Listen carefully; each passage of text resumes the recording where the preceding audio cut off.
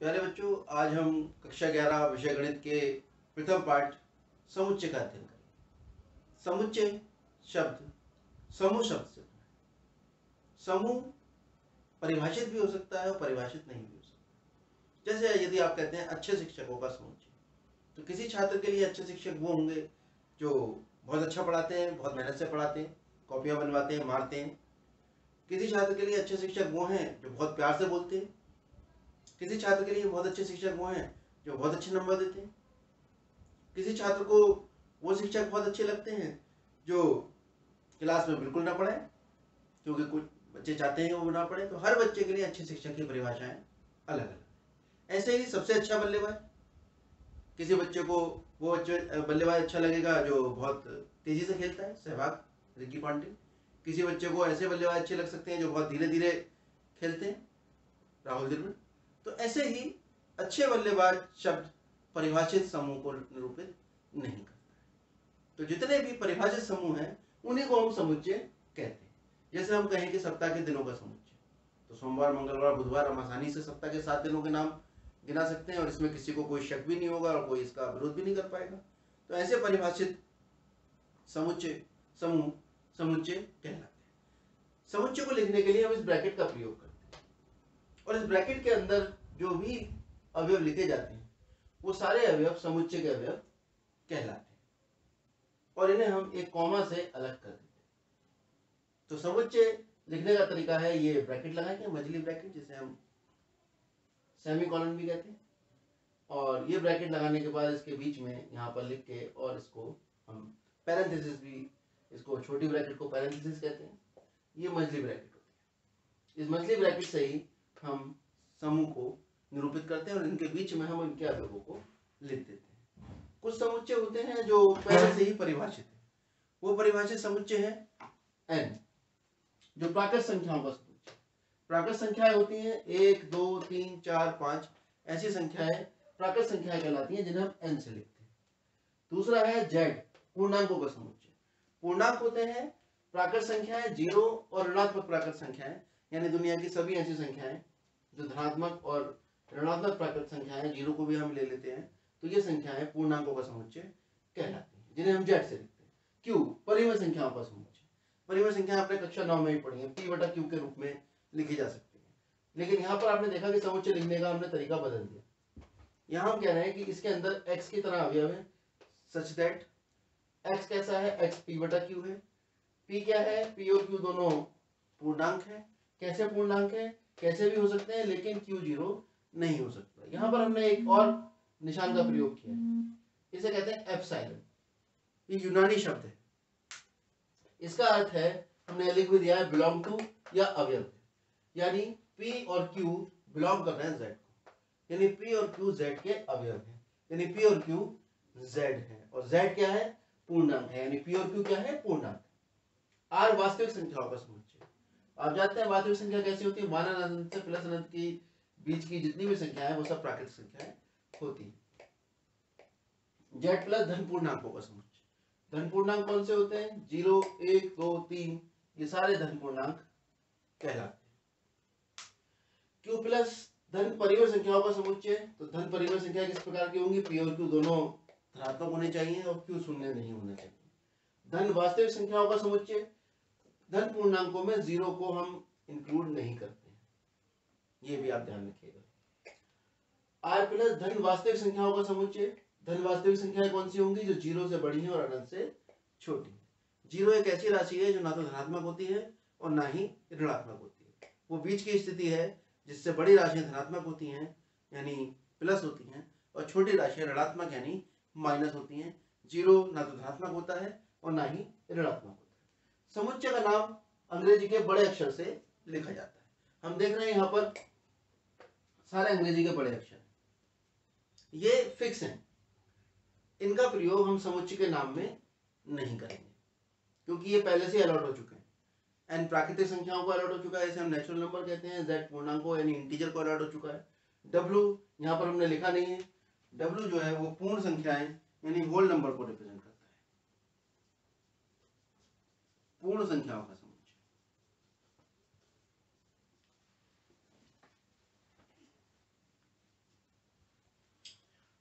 आइए देखते हैं समुच्चय को निरूपित करने की विधियाँ क्या है। समुच्चय को निरूपित करने की दो विधियाँ हैं, रोस्टर या सारणीबद्ध रूप या समुच्चय निर्माण। यहाँ पर हम आपको दोनों की थोड़ी सी झलक दे चुके हैं। ये रोस्टर या सारणीबद्ध रूप कहलाता है और ये समुच्चय निर्माण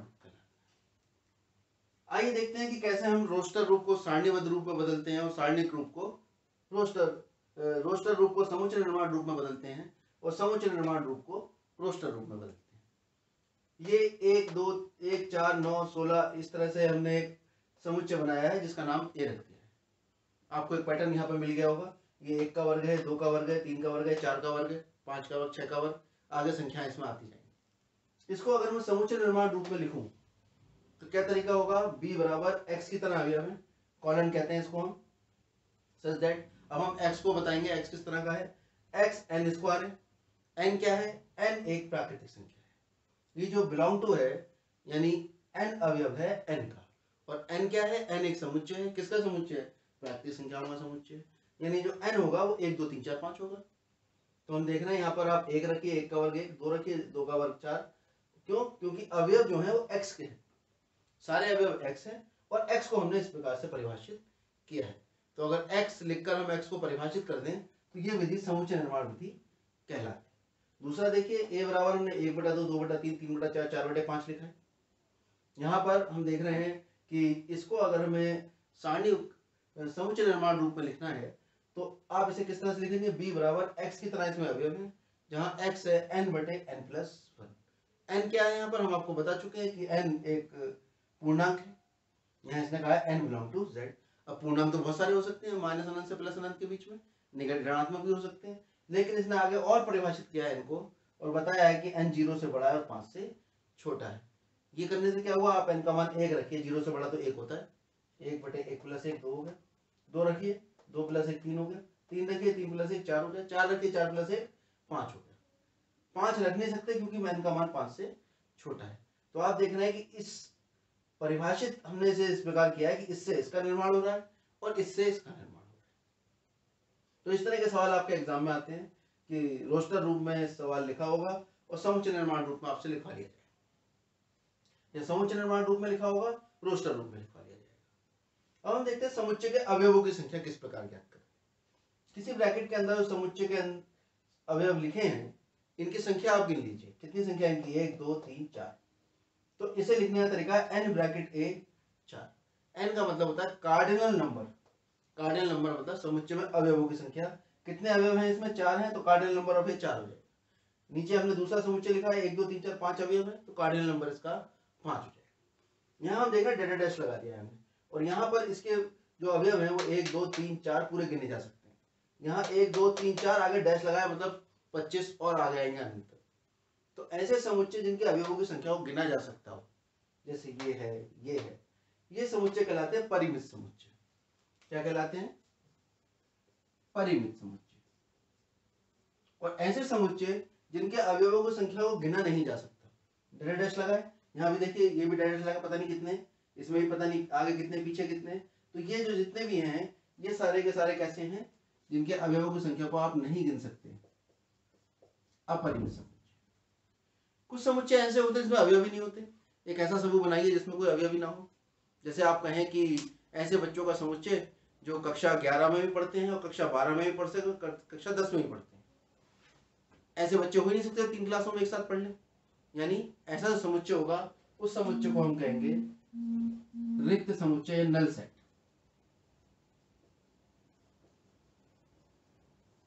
एक और अच्छा सा एग्जांपल ले लेते हैं। गधे, ऐसे गधे जिनके सिर पर सींग होते हैं, ऐसे गधे आपको मिलेंगे जिनके सिर पर सींग होते हैं। लेकिन हम कह रहे हैं कि ऐसे गधों का समुच्चय जिनके सिर पे सींग होते हैं। यानी एक भी नहीं मिलेगा, यानी वो कैसा समुच्चय हुआ? रिक्त समुच्चय। तो रिक्त समुच्चय को हम फाई से लिखते हैं।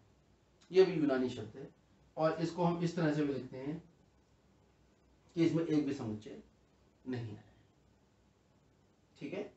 अगर हम कहें पूरी क्लास में, मान लीजिए आज कितने बच्चे आए हैं? मान लीजिए यहाँ बारह बच्चे बैठे हुए हैं। अब ये बारह बच्चे हैं और हम कहें इस कक्षा में शेरों का समुच्चय। लेकिन आप तो सब मनुष्य हैं, एक भी शेर नहीं है। इसका मतलब क्या हुआ? रिक्त समुच्चय हुआ। हमने कहा, इस कक्षा में छात्रों का समुच्चय? तो ये रिक्त समुच्चय नहीं होगा, क्योंकि आपके तो बारह छात्र यहाँ बैठे हुए हैं। तो आप समझ गए होंगे, रिक्त समुच्चय का अर्थ है कि जिसमें कोई भी अवयव ना हो। अगर हम कहें रिक्त समुच्चय में अवयवों की संख्या निकालिए। Cardinal number of null set तो इसमें एक भी अवयव नहीं है, रिक्त समुच्चय के अवयवों की संख्या होती है शून्य। आइए अब इस पर आधारित सवालों को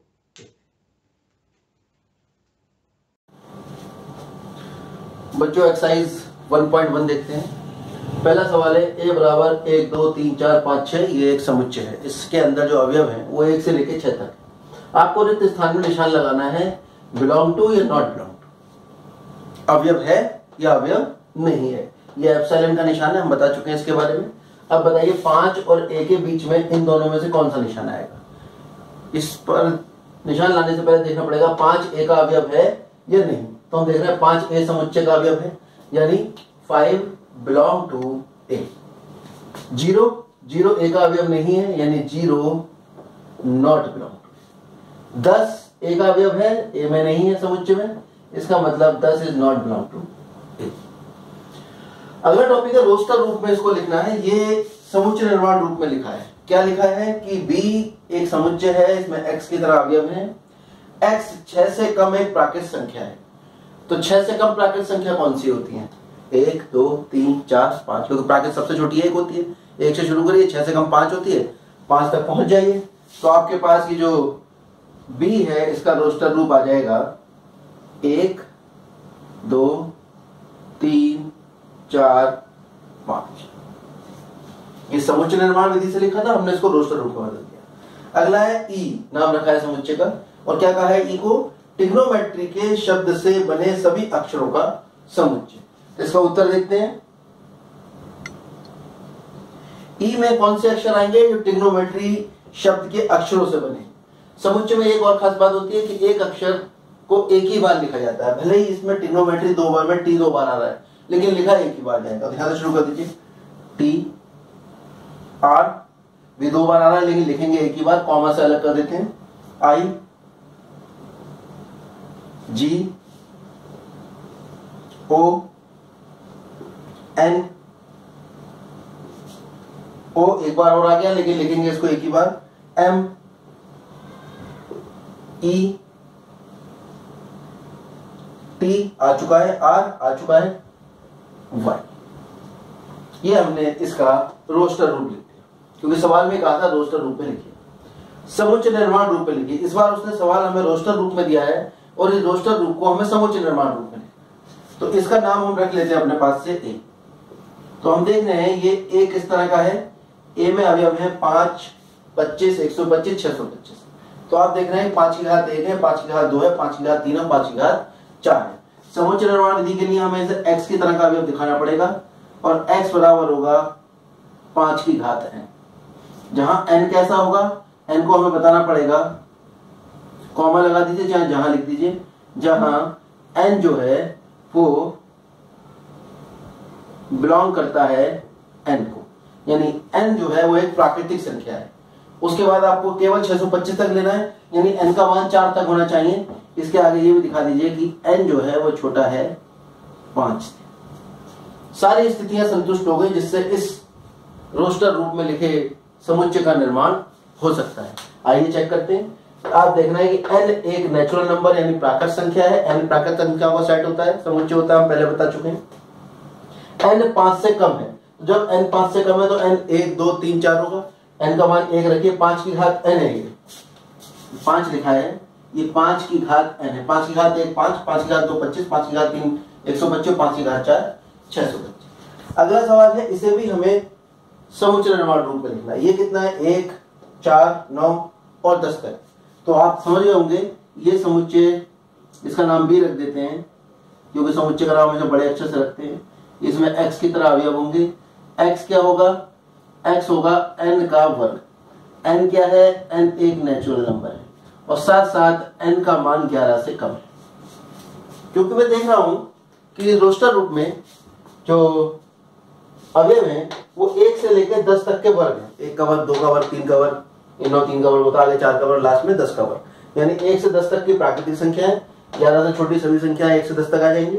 और एक्स क्या है? एन का वर्ग है। एन का मान आप यहाँ पर लगाते जाइए और इसके अवयव प्राप्त करते जाइए। अगला सवाल है, निम्न समुच्चयों के सभी अवयव सूचीबद्ध कीजिए। यानी हमें दिया होगा एक समुच्चय निर्माण विधि में समुच्चय, और उस समुच्चय को हमें लिखना होगा रोस्टर तो देखते हैं किस तरह का है ये। इसने कहा, x एक विषम संख्या है। A में x की तरह अवयव है। सच दैट यानी सेमीकोलन यानी कॉलन और जहाँ x इज़ विषम संख्या है। तो विषम संख्या कौन कौन सी होती है?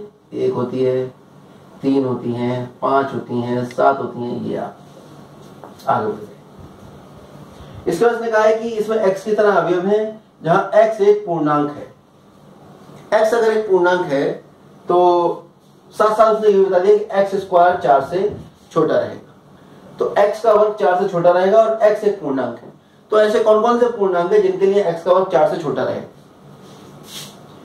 x का वर्ग छोटा होगा चार से किस किस मानों के लिए? यहाँ से पता लगेगा कि x का मान एक हो सकता है माइनस एक हो सकता है, दो हो सकता है और माइनस दो हो सकता है। आप कहेंगे कि दो क्यों लिया है? क्योंकि ये बराबर का निशान भी है।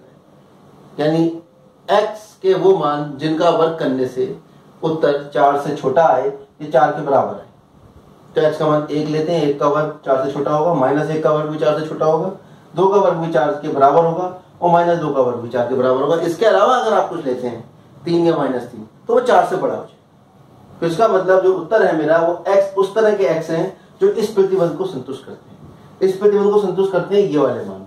यानी जो सी का मान आ जाएगा, वो आ जाएगा माइनस एक एक, या ऐसे लिखिए, माइनस दो, माइनस एक एक, दो। ये आपने समुच्चय निर्माण विधि में दिए गए समुच्चय का मान रोस्टर विधि में लिखते हैं।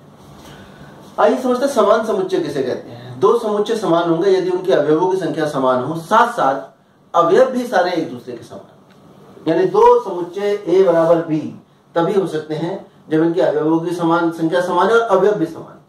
दूसरे शब्दों में हम कहें तो ए में जो अवयव है वो बी में होंगे और बी के सारे अवयव ए में होंगे। ऐसे भी आप इसको समझ सकते हैं। ए के सारे अवयव बी में होंगे और बी के सारे अवयव ए में होंगे तो वो सारे समुच्चय कहलाएँगे, समान समुच्चय। तो ऐसे सवाल आपकी किताब में दे रखे हैं, जिसमें आपको ढूंढना है कि दो समुच्चय समान है या नहीं, किसी का क्रम में भी परिवर्तन किया है उन्होंने, किसी में इस तरह से समीकरण हल करके निकालना है, वो सब आपका होमवर्क है, वो हम नहीं कराएँगे, आप स्वयं करिएगा उसको एक्सरसाइज वन पॉइंट टू रिक्त समुच्चयों के उदाहरण। रिक्त समुच्चय हमने बताया था, वो समुच्चय होते हैं जिनके अंदर किसी भी प्रकार का अवयव नहीं। यानी रिक्त समुच्चय में अवयवों की संख्या शून्य जैसे हमने बताया गधे के सिर पे सींग, ऐसे गधे जिनके सिर पर सींग होते हैं तो दुनिया में कोई भी गधा नहीं मिलेगा इसके सिर पे सींग होते हैं। यानी अगर इनका समुच्चय बनाएँगे तो वो रिक्त समुच्चय आएगा, उसमें कोई भी अवयव नहीं आएगा। यहाँ देखते हैं, क्या दिखाया उसने? दो से भाज्य विषम संख्या एक ऐसा समुच्चय जिसके अवयव दो से भाज्य विषम संख्याएँ हैं।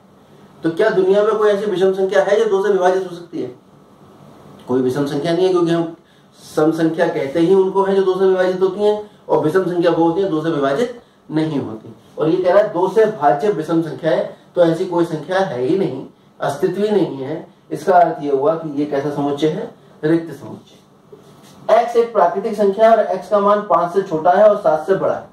क्या ऐसा संभव है कि कोई संख्या ऐसी हो जो पाँच से बड़ी भी हो और सात से पाँच से छोटी हो और सात से बड़ी हो? ऐसी कोई संख्या संभव नहीं है। जो पाँच से छोटी हो और सात से बड़ी, जब वो पाँच से छोटी हो जाएगी तो सात से बड़ी कैसे हो सकती है? यानी ये समुच्चय में रिक्त समुच्चय निम्न समुच्चय में परिमित तथा अपरिमित समुच्चय बताइए। परिमित और अपरिमित हम आपको बता चुके हैं। परिमित समुच्चय वो है जिनके अवयवों की संख्या को गिना जा सके। और अपरिमित समुच्चय वो होता है इनके अवयवों की संख्या को गिना न जा सके। अनगिनत अवयव उसमें हो। तो समुच्चय एक्स अक्ष के समांतर रेखाओं का समुच्चय। ये परिमित होगा अगर एक्स अक्ष के समांतर रेखाएँ की संख्या हम गिन सकते हैं। एक्स अक्ष के समांतर कितनी रेखाएँ होती हैं? एक्स अक्ष के समांतर अनंत रेखाएँ खींची जा सकती हैं जिन्हें आप गिन नहीं सकते। इसका मतलब एक्स अक्ष के समांतर रेखाओं का जो समुच्चय होगा, वो अपरिमित समुच्चय होगा। उन संख्याओं का समुच्चय जो पाँच के गुणन है, ऐसी संख्या जो पाँच का गुणज है। तो पाँच का गुणज कौन कौन होती है? दस होती है, पंद्रह होती है, बीस होती है, पच्चीस होती है, आप लिखते जाएँगे लिखते जाएँगे। खत्म नहीं होगी कहानी, लेकिन आप लिखते रहेंगे। तो इसका मतलब ये भी एक अपरिमित समुच्चय हम आपसे कहते हैं, साल के महीनों का समुच्चय। तो हम जानते हैं, एक साल में बारह महीने होते हैं। जब समुच्चय बनाएँगे तो जनवरी, फरवरी, मार्च, अप्रैल, कॉमा लगा के लिख देंगे। इसका क्या हुआ?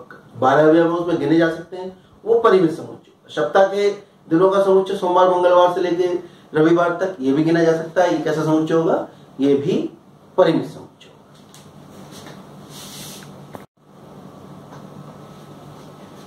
देखिए बच्चों एक्सरसाइज 1.2 पर बात करते हैं। इसका एक क्वेश्चन हम कर चुके हैं, दूसरा क्वेश्चन है, क्या निम्नलिखित युग्म समान है? कारण सहित बताइए। तो एक युग आपके पास समुच्चय है ए बराबर दो, चार, छह, आठ, दस। बी एक समुच्चय इसमें एक्स तरह की अवयव है, ये इसने समुच्चय निर्माण विधि के रूप में दिया है, जिसमें एक्स सम धन पूर्णांक है और एक्स का मान दस से कम। तो एक्स का मान दस से कम है और सम धन पूर्णांक है तो दस से कम और दस के बराबर भी है।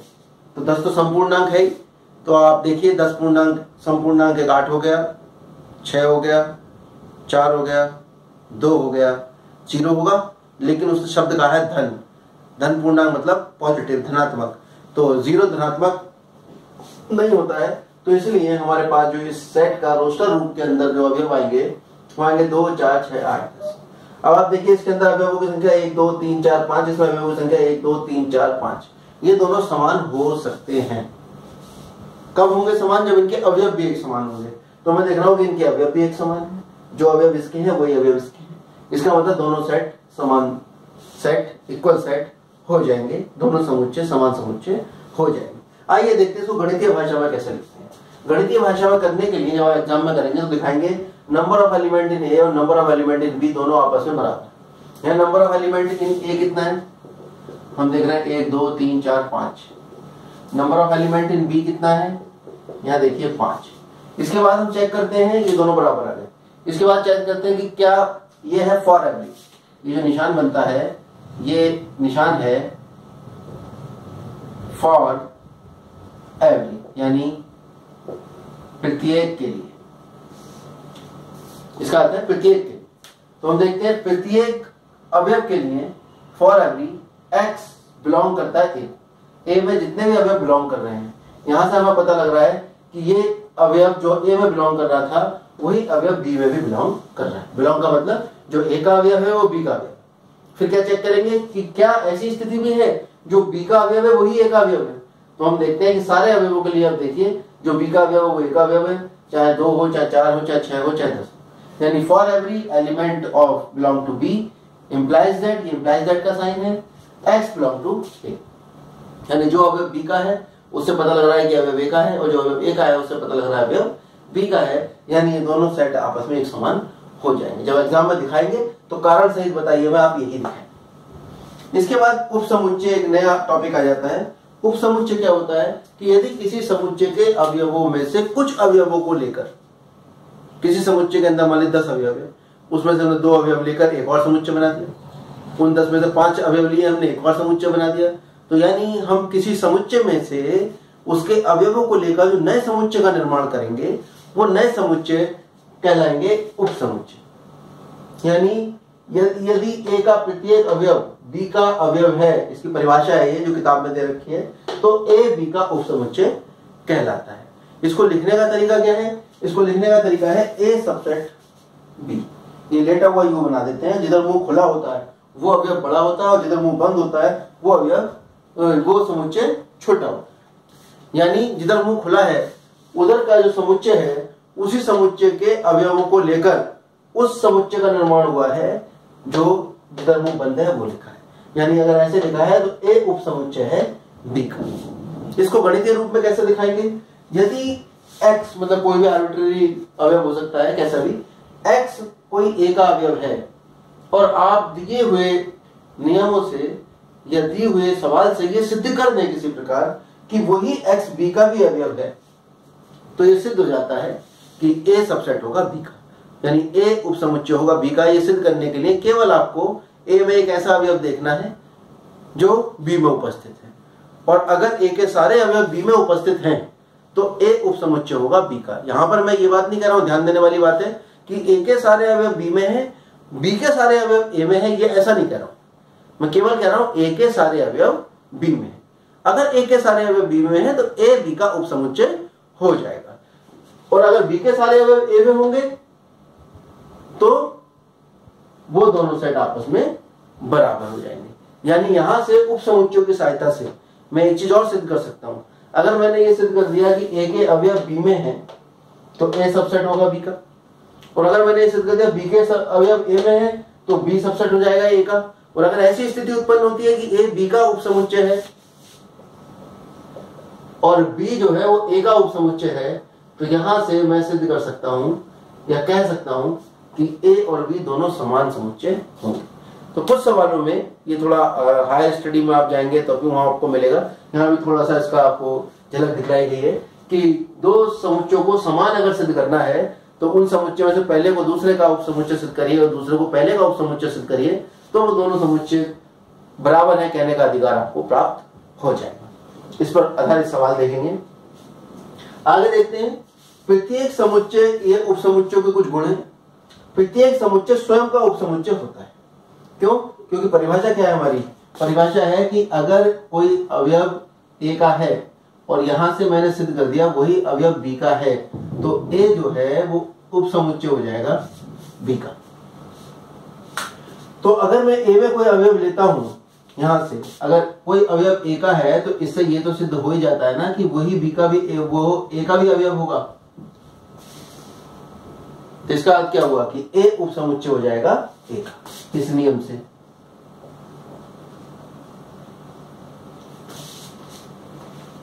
यानी प्रत्येक समुच्चय स्वयं का उपसमुच्चय होता है। प्रत्येक समुच्चय का रिक्त समुच्चय उपसमुच्चय होता है।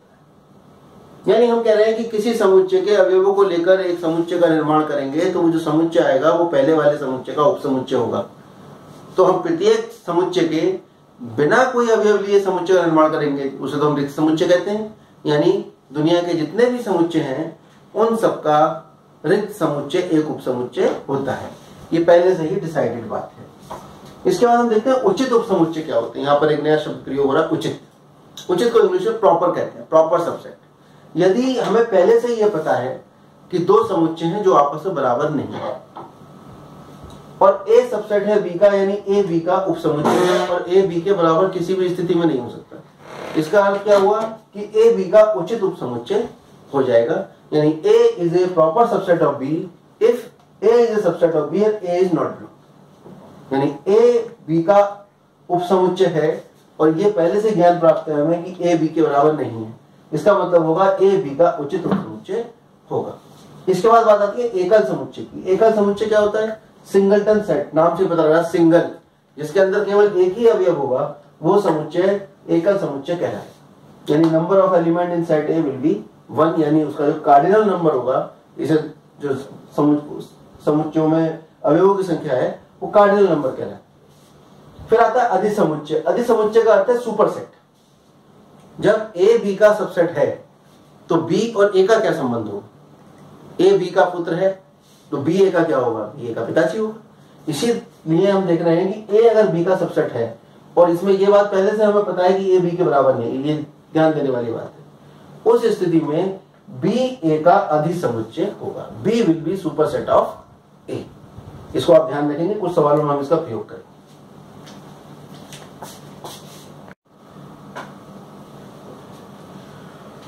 देखिए उप समुच्चों के बाद जानने के पश्चात हम देखते हैं उप समुच्चों की संख्या कितनी होती एक एग्ज़ाम्पल लेकर चलते हैं। मान लीजिए ए एक समुच्चय है। इसके अंदर दो कॉमा चार, दो है। एक बी समुच्चय है। इसके अंदर ए बी सी तीन है। तो हम ए बी सी के अवयवों को लेकर उप समुच्चयों का निर्माण करते हैं। एक हो गया। अब बी एक अवयव लेकर बना लिया। सी एक अवयव लेकर बना लिया। फिर ए और बी दोनों अवयव लेकर बना लिए। फिर बी और सी अवयव लेकर बनाया। फिर ए बी सी अवयव लेकर बनाया। फिर इनमें से एक भी अवयव नहीं लिया। तो क्या एबीसी के अवयवों से जितने भी संभव समुच्चय हैं, उसका निर्माण हो चुका है? देखते हैं। एक एक अवयव लेकर इनका हो गया दो दो अवयव लेकर। हाँ एक रह गया अभी। ए बी हो गया बी सी हो गया ए सी रह गया। अब हम देखते हैं दो कॉमा चार, ये दो अवयव है केवल इनके अंदर। अब इन दो अवयवों को लेकर हम समुच्चय का निर्माण करेंगे। वो समुच्चय कौन कौन से होंगे? दो। फिर चार को लेकर बनाया। फिर दो और चार को लेकर बनाया। फिर एक भी अवयव नहीं लिया। यानी हम कर क्या रहे हैं, समझिए? हम एक दिए गए समुच्चय के अवयवों से जितने भी संभव हम समुच्चय होते हैं, उन समुच्चयों का निर्माण कर हमने देखा जब इनके अंदर दो अवयव थे तो उप समुच्चयों की संख्या आई, एक, दो, तीन, चार। जब इसमें अवयव तीन है तो इसमें उप समुच्चयों की संख्या कितनी आ रही है? एक, दो, तीन, चार, पाँच छ सात, आठ। और अगर अवयव एक है, मान लीजिए एक और मैंने समुच्चय लिया, उसमें केवल एक ही अवयव है। मान लीजिए एक्स एक ही अवयव है। इसमें उप समुच्चयों की संख्या क्या आएगी? एक तो खुद यही आ जाएगा। और एक एक भी अवयव मत लीजिए तब उप समुच्चयों की संख्या इसमें कितनी आ रही है? दो। ऐसे ही हमने जब और चार, पाँच, छह लेकर किए तो प्रैक्टिकली हमने देखा कि किसी समुच्चय ए में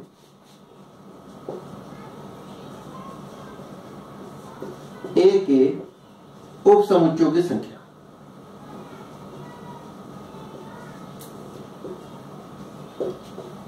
जो निकल कर आई, वो निकल कर आई दो की घात नंबर ऑफ़ एलिमेंट इन जैसे यहाँ पर दो अवयव है इसमें। यहाँ एन ए कितना होगा? Number of element in A यानी कार्डियल नंबर दो। तो उप समुच्चयों की संख्या दो के घात दो यानी चार। यहाँ नंबर ऑफ़ एलिमेंट कितने हैं? इसमें तीन। अवयव एलिमेंट कहते हैं इनको। इसमें उप समुच्चयों की संख्या दो की घात तीन, आठ। यहाँ एक ही है, दो की घात एक, दो। तो आप समझ गए होंगे? ऐसे रिक्त समुच्चय की बात करें। रिक्त समुच्चय के उप समुच्चयों की संख्या कितनी होगी? रिक्त समुच्चय को उप समुच्चयों की संख्या है केवल रिक्त समुच्चय को लेकर ही एक अवयव बनेगा, दूसरा अवयव तो रिक्त समुच्चय है जो खुद रिक्त समुच्चय इसका मतलब इसके जो उप समुच्चय में केवल एक ही उप समुच्चय है, जो ये स्वयं है। तो इसके उप समुच्चयों की संख्या दो की घात ज़ीरो। दो की घात ज़ीरो कितना होता है? एक, क्योंकि इसमें तो एक भी अवयव नहीं है। दो की घात अवयवों की संख्या, दो की घात ज़ीरो, किसी नंबर की घात ज़ीरो एक होती। है यानी रिक्त समुच्चय के उप समुच्चयों की संख्या एक होगी। आप समझ गए यहाँ पर एक नई चीज़ निकल कर आ रही है कि अगर इन जो उप समुच्चय आए हैं, इन उप समुच्चयों को, जो एक समुच्चय के उप समुच्चय हैं, इन्हें भी अगर मैं एक समुच्चय बना दूँ, यानी किसी दिए गए उप समुच्चयों का, किसी दिए गए समुच्चय के उप समुच्चयों का एक समुच्चय तो उसे हम कहते हैं घात समुच्चय। क्या कहते हैं? घात समुच्चय। इसे लिखते हैं पावर सेट ऑफ़ बी ऐसे ही इसके जो उप समुच्चय चार थे, इन उप समुच्चयों को अगर मैं समुच्चय में बंद कर दूँ, मान लो इनको तो ये हो जाएगा पावर सेट ऑफ़ ए यानी घात समुच्चय ऑफ़ ए क्या घात समुच्चय ए का घात समुच्चय। तो किसी समुच्चय के घात समुच्चय में अवयवों की संख्या कितनी होगी? भाई, क्योंकि घात समुच्चय कैसे बनता है? किसी समुच्चय के उप समुच्चयों को अवयव मान ले उससे जो समुच्चय बनेगा, वो घात समुच्चय कहलाता है। तो जब किसी समुच्चय को उपसमुच्चयों की संख्या दो की घात एन या number of element in N होती है तो फिर किसी घात समुच्चय में अवयवों की संख्या, क्योंकि अब ये उप समुच्चय समुच्चय नहीं रहे। क्योंकि जब मैंने इन्हें समुच्चय मान लिया तो अब ये अवयव हो गए। किसके अवयव हो गए? एक एक घात समुच्चय। तो अगर मैं कहूँ कि दो और पावर सेट ऑफ़ ए इनमें क्या संबंध हो? घात समुच्चय ए का। तो ए का घात समुच्चय ए के उप समुच्चय को एक समुच्चय के अंदर बंद करके उप समुच्चय को अवयव बनाकर प्राप्त हुआ था। तो ये दो जो है, समुच्चय दो, इस घात समुच्चय का क्या है? अवयव है। अवयव के नियम लगाते हैं बिलोंग लेकिन दो और पी ए इन दोनों के बीच में कोई संबंध नहीं लेकिन दो और ए के बीच में संबंध है, क्योंकि ए का अवयव है दो तो ये क्या बन जाएगा? ब्लॉक। और अगर मैं आपसे कहूँ कि ये जो दो समुच्चय है, जो अवयव है पावर सेट ऑफ़ ए का, यानी दो जो है वो पावर सेट ऑफ़ ए का एलिमेंट है, लेकिन दो और ए दो का समुच्चय और ए में क्या संबंध होगा? तो ए, दो का ये जो समुच्चय बना है, ये ए का उप समुच्चय है जो ए के अवयव से बना है। तो ये इसका उप समुच्चय इस टर्मिनोलॉजी को बहुत ध्यान से देखिएगा।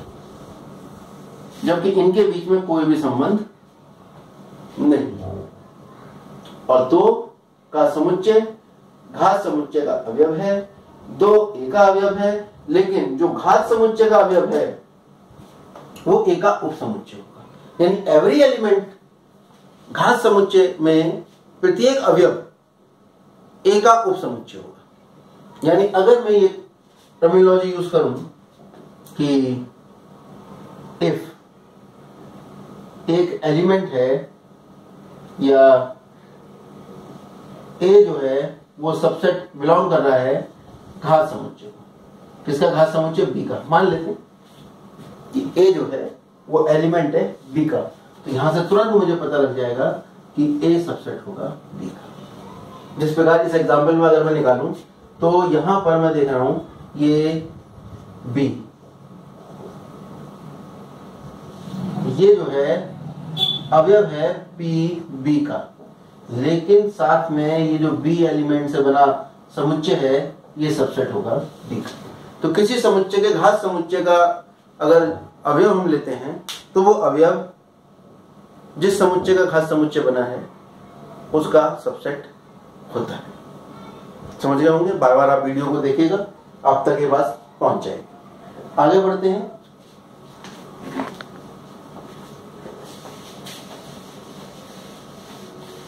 विविध प्रश्नावली में काफ़ी ज़रूरत पड़ने वाली है। ये जो कंसेप्ट हमने आपको बताया है घात समुच्चय का घात समुच्चय की परिभाषा आप किताब से लिख लेंगे। आइए अब हम संख्या रेखा का अध्ययन करते हैं।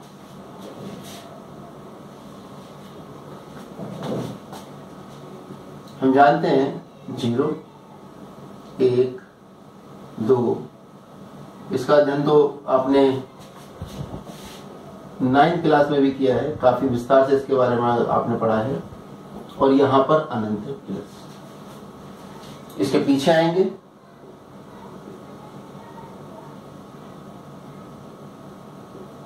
और ये है माइनस तो हम देख रहे हैं कि ये एक संख्या रेखा है। इस संख्या रेखा में ये एक, दो, तीन, चार, ये संख्याओं को लेकर समुच्चय बनाया जाए तो इसका स्पेशल नाम हमने एन रखा था। आपको याद है। अगर ज़ीरो भी इसमें ले लिया जाए तो इसका नाम हमने डब्ल्यू रखा था, यानी पूर्ण संख्या है, ये प्राकृत संख्या है। इसके बाद हमने लिया था जेड या आई और जेड में आ गया था हमारे पास ज़ीरो भी था, एक भी था, दो भी था, तीन भी था, साथ में माइनस एक भी था, माइनस दो भी था, माइनस तीन भी था, इधर भी अनंत तक जा रहा। यानी संख्या रेखा पर इस समय जितनी भी संख्याएँ आपको दिखाई दे रही हैं, पूर्ण, उन सबको हम जेड कहते हैं। लेकिन हमें मालूम है एक और दो के बीच में भी यानी संख्या रेखा पे प्रत्येक बिंदु। एक संख्या को प्रदर्शित करता है तो एक और दो के बीच में, दो और तीन के बीच में भी बहुत सारी संख्याएँ हैं। उन संख्याओं में से एक संख्या को हम कहेंगे एक प्रकार की संख्या क्यू क्यू होती है परिमेय संख्या। इसमें एक्स की तरह अवयव होंगे, जहाँ एक्स होगा पी बटे क्यू जहाँ क्यू ज़ीरो नहीं होगा, और पी और क्यू दोनों के दोनों जेड को बिलोंग करेंगे, यानी इंटीजर यानी दो पॉइंट एक, दो पॉइंट दो। दशमलव बटा के नीचे ज़ीरो बढ़ा लीजिए यानी दुनिया की प्रत्येक दशमलव संख्या को हम परिमेय संख्या के रूप में यानी बटे में लिख सकते हैं भिन्न के रूप में लिख सकते हैं और जब भिन्न के रूप में लिख सकते हैं तो फिर वो किसी ना किसी बिंदु को प्रदर्शित करेगी अपरिमेय संख्याओं को छोड़कर और जिस बिंदु को प्रदर्शित करेगी वो बिंदु हम परिमेय संख्या यानी क्यू के नाम से जानते हैं। अब कुछ ऐसी भी संख्याएँ होती है जो परिमेय संख्या के रूप में प्रकट नहीं हो सकती। यानी हम उन्हें पी बटे क्यू के रूप में नहीं लिख सकते उन्हें टी कहते हैं। टी में एक्स की तरह अवयव होंगे, जहाँ एक्स जो है बिलोंग नहीं करेगा क्यू को। सिर्फ़ इतनी सी परिभाषा। जो संख्या बटे में निरूपित हो सकती हैं, बटे में लिखी जा सकती हैं, भिन्न में परिवर्तित हो सकती हैं, उन्हें तो परिमेय कहते हैं। लेकिन कुछ संख्याएँ ऐसी है दशमलव संख्याएँ, जो भिन्न में परिवर्तित नहीं हो सकती। उन्हें हम कहते हैं अपरिमेय संख्या जिन्हें टी से अब यानी इन दोनों के बीच में, दो संख्याओं के बीच में करोड़ों संख्याएँ हो गई जो दशमलव संख्याएँ हैं, दो पॉइंट एक, दो पॉइंट एक एक, दो पॉइंट ज़ीरो ज़ीरो एक, दो point zero zero zero zero एक, ऐसे तीन पॉइंट तीन और चार के बीच में। यानी दो क्रमागत पूर्णांकों के बीच में बहुत सारी संख्याएँ हो गई। उन संख्याओं को हम दो भागों में विभक्त करते हैं। एक भाग को हम कहते हैं परिमेय और एक को हम कहते हैं अपरिमेय। और इस पूरी संख्या रेखा को प्रत्येक, चाहे वो परिमेय हो, चाहे अपरिमेय हो, चाहे पूर्ण संख्या हो, चाहे प्राकृत संख्या हो, उन्हीं सबको हम कहते हैं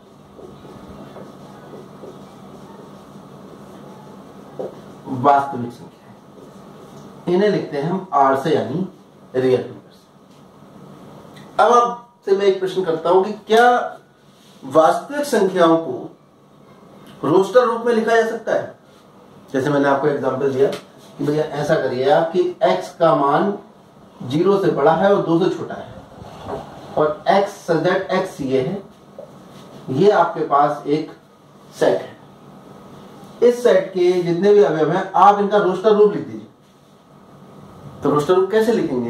भाई, आप कहेंगे ज़ीरो से बड़ा zero point one zero point one one zero point one one one two ऐसे करते करते तो आप पूरी ज़िंदगी बीत जाएगी, आप संख्या लिखते रहेंगे, लेकिन हल पर नहीं पहुँच पाएँगे। यानी जो वास्तविक संख्याएँ हैं, उनको रोस्टर रूप में नहीं लिखा जा सकता। उनको केवल हम समुच्चय निर्माण रूप में लिख सकते इनको लिखने के लिए, अब इसके भी उपसमुच्चय अगर हमें लिखने तो इसके लिए हमें एक और लिखने के तरीके पर विचार करना पड़ेगा, जो तरीका है अंतराल। अब ये अंतराल शब्द क्या है, इसको समझ समझिए। उसको समझने से पहले हम देख लेते हैं कि कौन किसका उपसमुच्चय है। यहाँ पर हम देख रहे हैं कि सारे के सारे नेचुरल नंबर होल नंबर में प्राकृत संख्याओं का निर्माण हुआ है, वो पूर्ण संख्याओं से हुआ है। यानी प्राकृत संख्या जो है वो सबसेट हैं है समुचे हैं। मैं देख रहा हूँ कि जेड के अंदर जितने भी संख्याएँ हैं, उन सबका जो निर्माण, इन संख्याओं में से लेकर एन और डब्ल्यू का निर्माण हुआ है। यानी एन जो है, वो सबसेट है जेड का और डब्ल्यू भी सबसेट है जेड का। इन सबके बटे में एक लिख दीजिए तो ये परिमेय बन जाएँगे। तो पूर्णांक जो है, वो क्यू यानी परिमेय संख्याएँ परिमेय संख्याओं में एक भी होगा, एक को एक बटा एक लिखिए दो को दो बटा एक लिखिए पी बटे क्यू की फॉर्म में आ जाएँगे। यानी इस क्यू के अंदर ये जेड भी होगा। यानी जेड का अगर मैं दूसरे शब्दों में कहूँ कि जेड का निर्माण क्यू के जो संख्या है, उनको लेकर हुआ है। यानी जेड जो है, वो सबसेट हो जाएगा उप समुच्चय हो जाएगा क्यू का। अब क्यू और टी दोनों आपस में कोई संबंध नहीं है, क्योंकि टी वो है जो क्यू नहीं है। तो क्यू और टी दोनों को अगर मिला दिया जाए तो वास्तविक संख्या बन जाती है। यानी क्यू भी सबसेट है आर का आर मतलब real number set of real number जितनी भी दुनिया की सारी संख्याएँ हो गई, उन सबको आप वास्तविक संख्या माने। और T is a subset of R अगर मैं इसको और डिटेल में लिखूं तो मैं कहूँगा कि प्राकृत संख्या उपसमुच्चय है इसका, ये उपसमुच्चय है, z का, z उपसमुच्चय है, q का और q उपसमुच्चय है r का।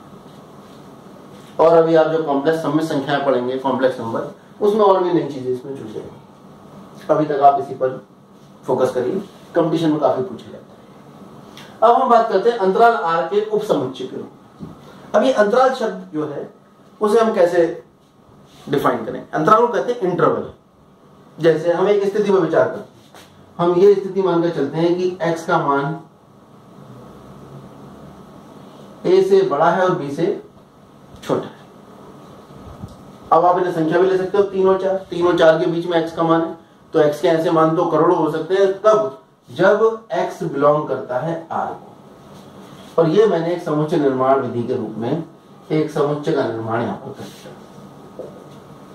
ये एक समुच्चय है। इसमें x कितना अवयव है एक्स रियल नंबर यानी वास्तविक संख्याएँ हैं और x का मान a से b के बीच में इसको लिखने के लिए आप या तो रोस्टर समुच्चय निर्माण विधि लिखिए। रोस्टर का सवाल ही नहीं उठता। इसके लिए हमें एक नोटेशन इजाद की गई। उसका नाम रखा गया इंटरवल कैसे? देखिए। ए से ग्रेटर है एक्स और बी से छोटा है तो हम इसे इस रूप में लिख सकते हैं। ये ब्रैकेट लगाइए। इन ब्रैकेट को हम कहते हैं स्मॉल ब्रैकेट जानते हैं आप? यहाँ छोटी संख्या लिख दीजिए और यहाँ बड़ी संख्या। एक्स बिलोंग ये लिखने का एक तरीका होता है कि आप छोटी संख्या ब्रैकेट लगाएँ, और यहाँ से ये पता लग रहा है क्योंकि छोटी ब्रैकेट लगी है तो ए और बी अपवर्जित हैं।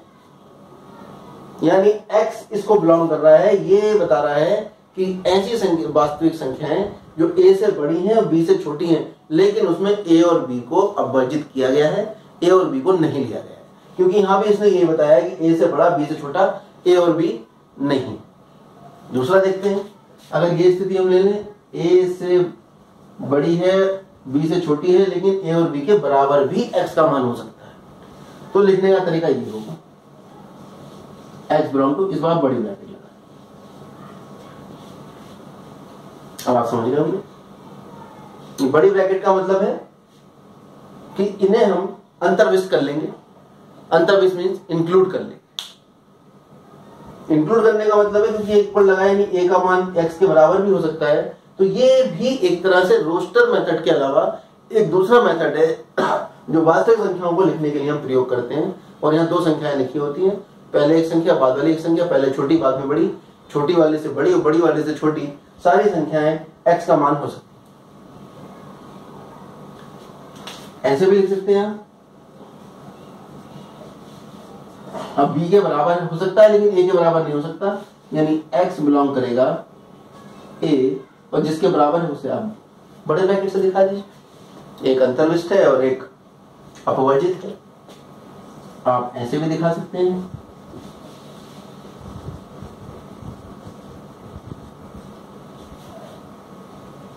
या अगर मैं संख्या रेखा पर कहूँ, ये संख्या रेखा है, ये ज़ीरो है, ये एक है, ये दो है। मुझे मान चाहिए ये जो गोला है, ये बता रहा है कि एक के बराबर एक्स का मान नहीं है, और डार्क वाला ये बता रहा है कि एक के बराबर है। और इस तरह से मैंने डार्क रखा है केवल ये भाग जो है, वो मुझे दिखाना है इंटरवल के रूप में। तो ये कैसे होगा? एक्स जो है, वो एक से बड़ा है, लेकिन एक्स दो से छोटा है और दो के बराबर भी। तो इंटरवल फॉर्म में कैसे लिखेंगे? X belong to interval form भी एक तरह से रोस्टर फॉर्म की तरह ही एक समुच्चय का एक रूप है। तो क्योंकि एक के बराबर नहीं है, छोटी संख्या एक है, बड़ी दो है। अब क्योंकि एक के बराबर नहीं है, इसलिए मैं छोटी ब्रैकेट लगाऊँगा और दो के बराबर है, इसलिए मैं यहाँ पर बड़ी ब्रैकेट ये लिखने का तरीका है अंतराल आर के उप समुच्चय और ये जितने भी उप समुच्चय आते हैं, ये सब उप समुच्चय होते हैं आर के। क्योंकि संख्या रेखा पर है तो दो संख्याएँ होंगी। उन दो संख्याओं के बीच के, मान लीजिए एक्स का मान जो है वो दो से लेकर और मुझे छह तक दिखाना है। छह इंक्लूड है और दो इंक्लूड छह इंक्लूड नहीं है, अपवर्जित है और दो इंक्लूड है यानी अंतर्विष्ट है तो इसको कैसे दिखाया जाएगा? एक्स बिलोंग टू दो छ दो इंक्लूड है, बड़ा ब्रैकेट ये इंक्लूड नहीं है, छोटा ब्रैकेट और ये किसका सबसेट होगा? आर का। ये किसका भाग है? पूरे नंबर लाइन का तो इस तरह से आप समझ सकते हैं अंतराल को इसका काफ़ी महत्व है। कैलकुलस में और फिजिक्स में इसका बहुत ज़्यादा प्रयोग होता है। आप इसको बार बार पढ़े समझें। किताब में आप page number thirty thirteen one three. Page number thirteen पे आप देखें इसके बारे में विस्तार से बताया। है एक एक शब्द पढ़ें। कोई शंका कोई समस्या है तो उसके निवारण के लिए आप अपने संबंधित शिक्षक या अगर हमारे स्टूडेंट हैं तो आप हमसे संपर्क कर सकते हैं। और व्हाट्सएप पर आप चाहें तो इस नंबर पर कांटेक्ट भी कर सकते हैं। Nine four five seven three one three one nine eight, ये व्हाट्सएप नंबर है। इस पर आप अपनी समस्या भेज सकते हैं, जिसका समाधान हम आपको उपलब्ध करवा दें